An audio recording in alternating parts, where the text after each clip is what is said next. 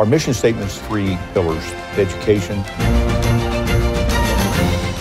athletics, and leadership.